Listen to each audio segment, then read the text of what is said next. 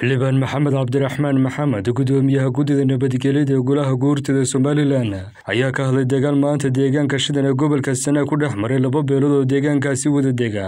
Waxaanu xildhibaanku ugu baaqay labadaasi beelood in nabadda ilaaliyaan nabadgelyada guud ee dalka. Maanta horta aada iyo aad bay u wanaagsan tahay. Marka laga reebo shaqaaqooyin imika maanta la sheegayo oo ka ka ka taagan meesha la yidhaahdo shidan marar hore waxbaa shaqaaqooyin yarar baa ka dhacay. Laba reeroo isdhalay oo dhaleeyaah oo dan wadaaga baa wada yaalla. Muranka khilaafku ilaahay baa dee soo dejiyey oo waa wax iska jira. Laakiin waxay u baahan tahay halkii qori iyo dagaal iyo xabad lagu xalin lahaa in wada hadalka lagu xaliyo laysu soo fadhiisto.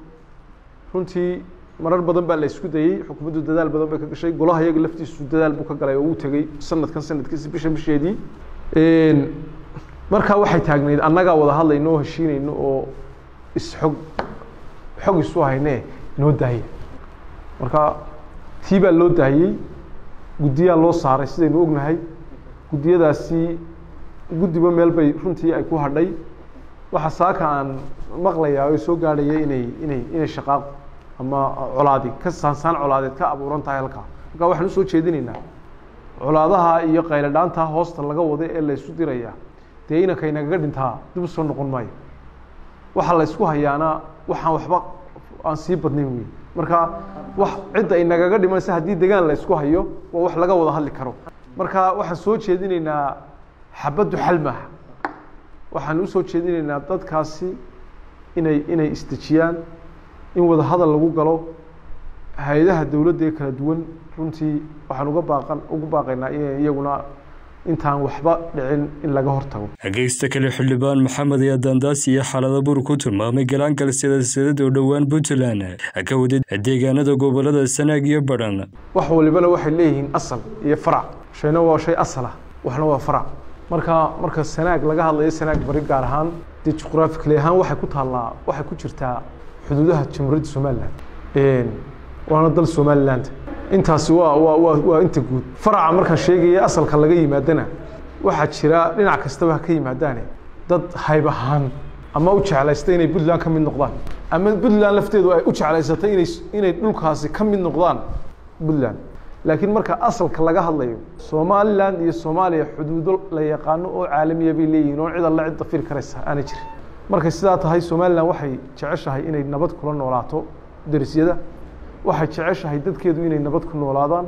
Halkaa ciidamada somalilan baa meel area ku dhow jooga.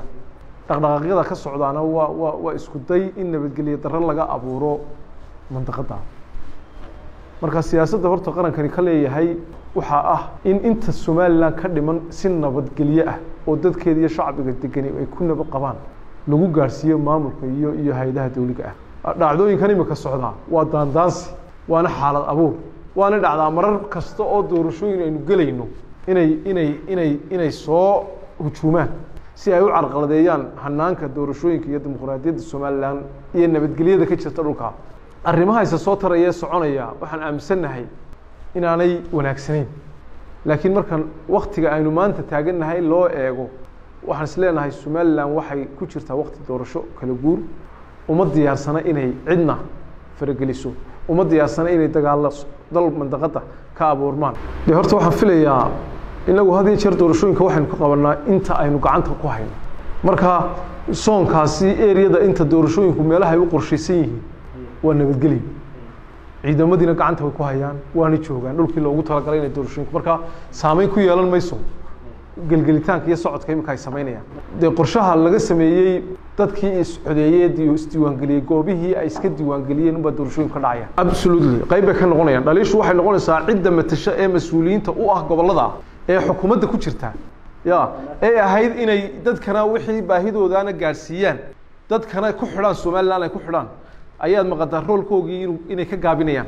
Dee si kalena way noqon kartaa haddaan dee haddaan loo sii dayn iyaga laftoodu talada dee iyaga laftooda ma socon karaan. Marka waxaan soo jeedinaynaa in dadka siyaasiyiinta ama golaha wasiirada ku jira ee u dhashay deegaanadaasi inay inay kordhiyaan. Bal sidii iyaga iyo dee bulshadii ay matalayeen isugu xidhmi lahaayeen. Waa maxamed raan udweyne news